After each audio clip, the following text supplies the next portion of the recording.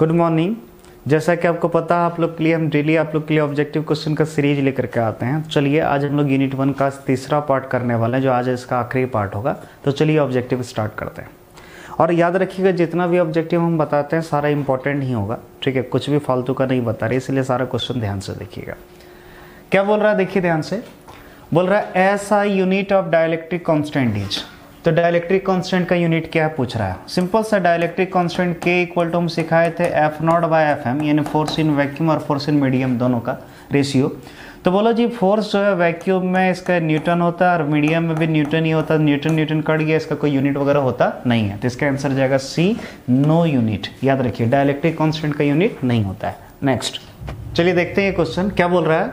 During lightning charge is transfer to earth यानी earth में कौन सा चार्ज ट्रांसफ़र होता है? सुनिए लाइटनिंग में जो बादल होता है, याद रखिए, जैसे ये बादल है, बादल में दोनों तरह का चार्ज होता है पॉजिटिव चार्ज भी नेगेटिव चार्ज भी।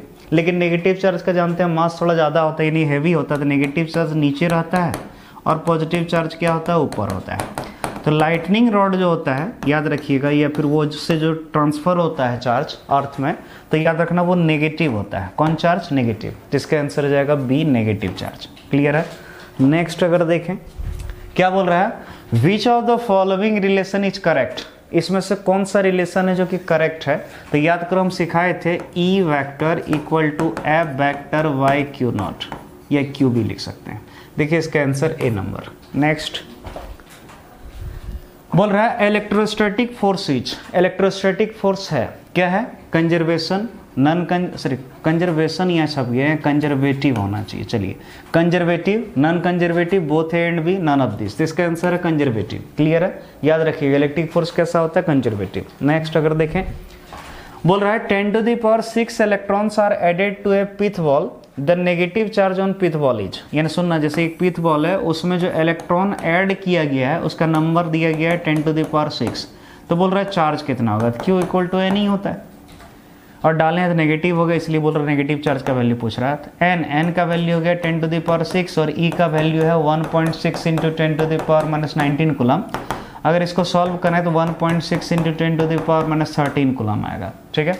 तो देखिए one point six into ten to the power minus thirteen coulomb A next बोल रहा है when electron are remove from an uncharge body the body ध्यान से देखना, क्या बोल रहा है, एक बॉडी है अनचार्ज बॉडी उससे इलेक्ट्रॉन क्या किया रिमूव किया गया तो क्या होगा?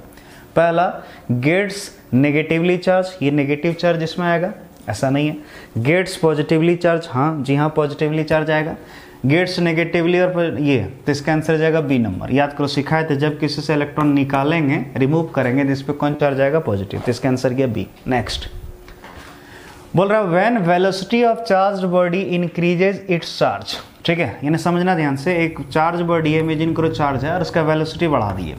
मान लो वेलोसिटी क्या कर दी? बढ़ा दिए। तो क्या होगा इसका चार्ज तो इसके चार्ज पे कोई इफ़ेक्ट नहीं पड़ेगा। क्यों? क्योंकि चार्ज जो है स्पीड से कोई मतलब उसको नहीं होता है। ठीक है? तो इसीलिए डज नॉट चेंज इसका आंसर गया डी नंबर नेक्स्ट क्या बोल रहा है? Equivalent capacity between A and B in figure is ये फिगर है और इस फिगर में ए और बी के बीच इक्वेलेंट कैपेसिटी पूछ रहा है। ध्यान से देखिएगा।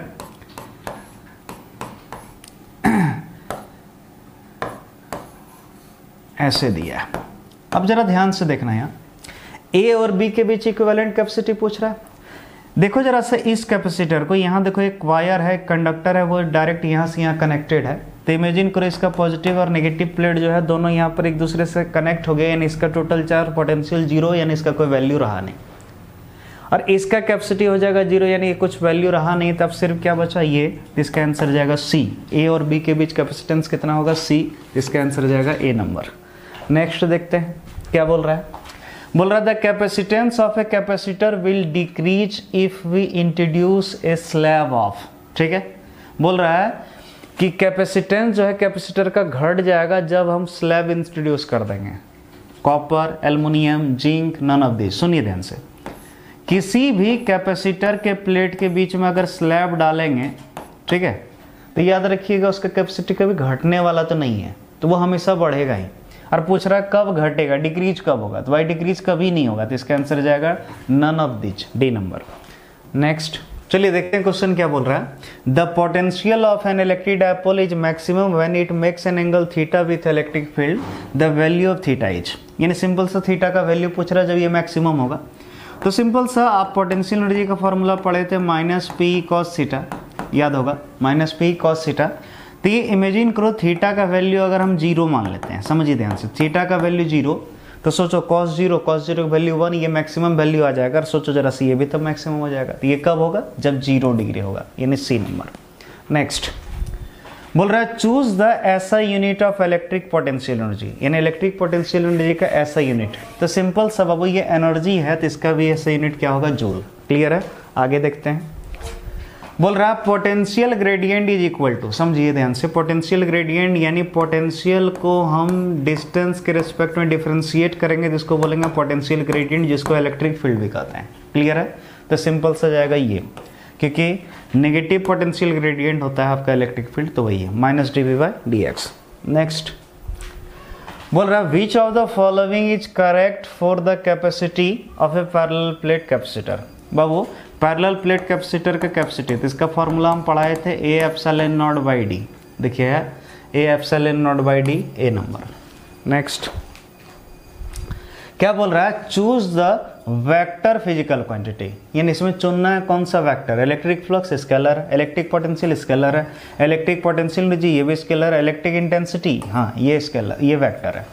एक्चुअली यहाँ पर इलेक्ट्रिक इंटेंसिटी के ज़्यादा अच्छा रहता है इलेक्ट्रिक फ़ील्ड इंटेंसिटी लिखना चाहिए, लेकिन ऑप्शन में यही है तो यही टिक करना होगा, कोई दिक्कत नहीं। नेक्स्ट बोल रहा था surface density of charge is measured ठीक है, ध्यान से देखिए। सरफेस डेंसिटी यानी चार्ज यानी चार्ज पर यूनिट एरिया इसको बोलते हैं सरफेस चार्ज डेंसिटी इसको किसमें मेजर करेंगे? तो भाई चार्ज का यूनिट है कूलम और एरिया का है मीटर स्क्वायर तो सिंपल से इसका यूनिट हुआ कूलम पर मीटर स्क्वायर देखिए है बी नंबर। नेक्स्ट क्या बोल रहा है? The electric potential of earth is taken H समझिएगा अर्थ का इलेक्ट्रिक पोटेंशियल कितना लेते हैं? ज़ीरो लेते हैं। याद रखिए अर्थ का इलेक्ट्रिक पोटेंशियल हम लोग कितना मानते हैं? Zero next the value of electric potential at a distance R from a point charges simple सा पॉइंट चार्ज का फॉर्मूला याद होगा। One by four pi epsilon naught q by R होता है। क्लियर है? ये इलेक्ट्रिक पोटेंशियल का value तो देखिए ए नंबर नेक्स्ट बोल रहा है electric capacitance of earth of radius R यानी अर्थ है तो अर्थ स्फेयर स्फेरिकल होता है। अगर उसका रेडियस आर है तो उसका कैपेसिटेंस होगा four pi epsilon naught into R ठीक है? यानी इसका आंसर जाएगा बी नंबर नेक्स्ट क्या बोल रहा है? Electric potential is equal to electric potential किसके बराबर होता है? तो इलेक्ट्रिक पोटेंशियल याद करो, पढ़ाए थे डब्ल्यू बाई क्यू यानी इसका आंसर बी ठीक है? नेक्स्ट बोल रहा है one farad is equal to one farad किसके बराबर होगा? तो याद रखिए वन फराड इक्वल टू होता है one coulomb per volt clear है?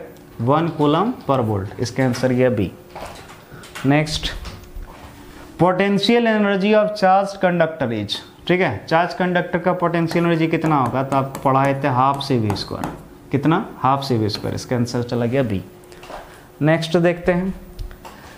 बोल रहा था torque acting on electric dipole moment P vector placed in electric field intensity vector torque पूछ रहा है। तो टॉर्क इक्वल टू हम पढ़ाए थे P vector cross E vector P vector cross E vector clear है? देखिए, है ऑप्शन इसका आंसर ये ए नंबर नेक्स्ट अगर देखें, क्या बोल रहा है? The equivalent capacity between A and B in the given figure is ये फिगर है, इसमें ए और बी के बीच हमको इक्वेलेंट कैपेसिटी पूछ रहा है। ध्यान से देखिएगा। इस फिगर को हम फिर से बनाते हैं अच्छा से क्लियर दिख सके आपको। ये है आपका सिक्स माइक्रोन फराड ये भी सिक्स माइक्रोन फराड और ये भी सिक्स माइक्रोन फराड और ए और बी के बीच निकालना है।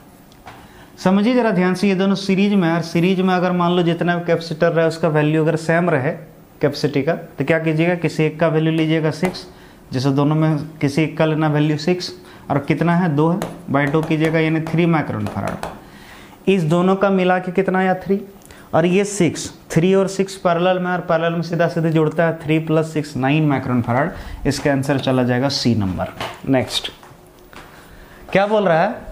64 identical drops, each of capacity of 5 micron farad combined to form a big drop. सोचो 64 छोटा छोटा बूंद है, उसका कैपेसिटी हर एक का 5 माइक्रोन फराड उसको मिला के एक बड़ा बूंद बना रहा है। What is the capacity of big drop सुनना कैपेसिटी ऑफ़ बिग ड्रॉप कभी भी निकालना हो, उसका तरीका क्या है? C dash equal to number of drop का जितना भी होगा स्मॉल वाला ड्रॉप उसका क्यूब रूट करना है वन बाई थ्री इंटू एक का कैपेसिटी जो था। तो बोलो एन नंबर ऑफ़ ड्रॉप्स कितना? सिक्सटी फोर उसका cube root into C C का वैल्यू कितना दिया? है फाइव माइक्रोन फराड अगर इसको सॉल्व करोगे 64 का क्यूब रूट करोगे तो फोर आएगा इंटू फाइव माइक्रोन फराड तो इसका आंसर जाएगा 20 माइक्रोन फराड देखिए ऑप्शन 20 20 डी नंबर नेक्स्ट बोल रहा है electric permittivity of free space is equal to ठीक है इलेक्ट्रिक परमिटिविटी फ्री स्पेस का. सिंपल सा 8.85 point eight five into ten to the power minus twelve farad per metre clear है ये होता है फ्री स्पेस का electric permittivity in epsilon naught का वैल्यू है? 8.85 point eight five into ten to the power minus twelve farad per metre और चलिए इस चैप्टर का लास्ट क्वेश्चन ठीक है? ध्यान से देखिए क्या बोल रहा है। बोल रहा है three capacitors each of capacity C are connected in series तीन कैपेसिटर, हर एक कैपेसिटी सी है, उसको सीरीज़ में कनेक्ट किए हैं। The resultant capacitance will capacity will be सुनना ध्यान से।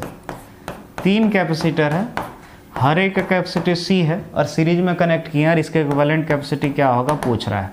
अभी तुरंत अभी इस तरह का बताया क्वेश्चन इसका आंसर आप खुद से दे सकते हैं, और हम चाहेंगे इसका आंसर आप कमेंट में लिखिएगा, तब ना हमको हमको पता चलेगा, आप भी कुछ सीख पा रहे हैं।